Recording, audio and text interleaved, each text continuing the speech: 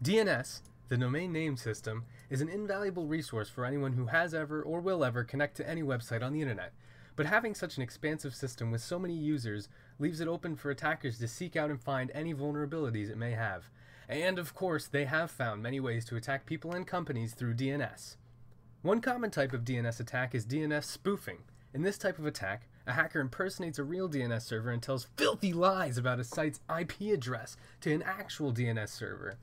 DNS servers like to spread gossip, whether it's true or baloney, so they tell all of their friends the juicy lies the hacker tells them.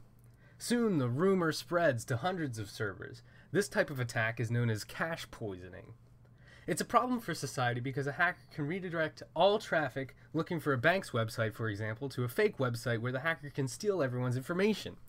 Even with modern patches and fixes, about 33% of DNS servers are spoofable. But it's not as easy as it sounds. When a client, which is in this case a victim DNS server, requests information from another DNS server, it sends along an ID number. If it receives a message back with the same ID number, it will know that the reply is legitimate and will accept the first reply that comes back with that ID number.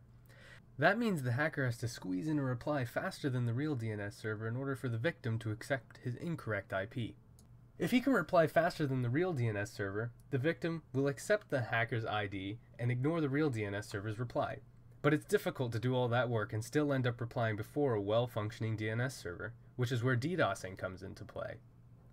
DDoS, which stands for Distributed Denial of Service, is a type of attack where a hacker attempts to slow down or crash a server by overwhelming its resources or by hogging up all of its available bandwidth.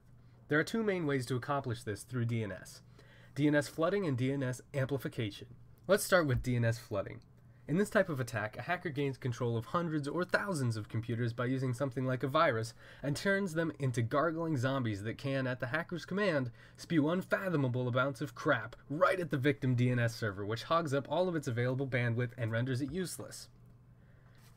DNS amplification is a bit more nuanced. In short, a hacker pretends to be a real DNS server and makes his source IP address the same as the IP of a victim DNS server. He then sends a buttload of requests to a bunch of servers, sometimes with a botnet, and all the servers he requests as the victim send the responses to the real DNS server, the target. This drains system resources as the victim server tries to accept all the responses it didn't really ask for. So DNS has been around for a long time, and if we want to stay around for a lot longer, we need to stay ahead of the minds of those with malicious intent and continue to improve our protocols.